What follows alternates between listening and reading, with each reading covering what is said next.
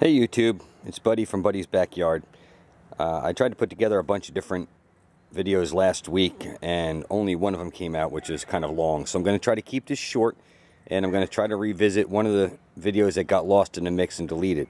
Uh, what I was trying to do is I was trying to show or I was trying to compare 20 cent seed, which is this one here, oops, versus $1.38 seed, which is this one here. I had a, a thought that, well, there's seeds, and there's a huge difference in the amount of money uh, for the seed, and exactly what the differences were, and what would germinate best and what would grow best. So, I planted three, oops, one, two, three, with the 20 cent seed, the best I could find in a pack, and three, one, two, three, with the $1.98. They are both uh, black zucchini, and uh, they were planted at the same time in the same kind of pot with the same mix and put under the same grow lights. And I have just a minor result. Um, these are the 20 cent per pack. These came with nine seeds in the pack. There's a dog under there. Get uh, nine seeds in the pack. I don't know why not 10 just nine.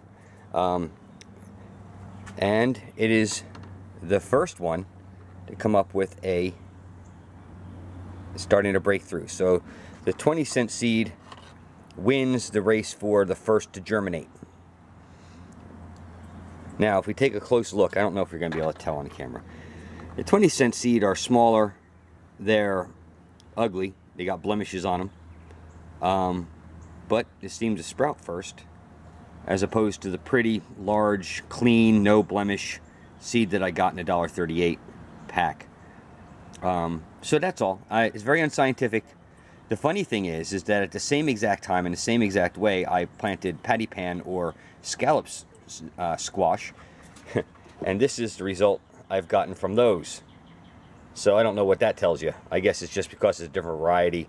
Um, it just they've all fired, um, without exception, uh, and they're they're way advanced of the other ones. Uh, I also wanted to give you an update on the basil. Uh, I did a video last week about how I had um, basil in a pot that I actually bought in the grocery section. It wasn't even in the garden section. Um, and how I separated them out. Well, so far, everything is alive. They're all growing. This one, it looks like it's just a stick, but this is, is new growth right there. Well, my battery's going to die. Oops. So there you go with that. And the rosemary is still alive and well.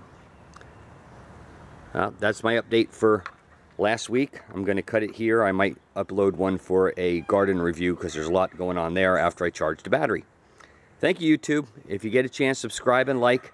I really look forward and love your comments. Uh, thank you, Rick and uh, and uh, Dave and uh, all you people over there in England who, who commented, uh, Kirby and all that uh, from Texas, and Brendan from Texas. I'll talk to you later. Thank you very much and have a great day.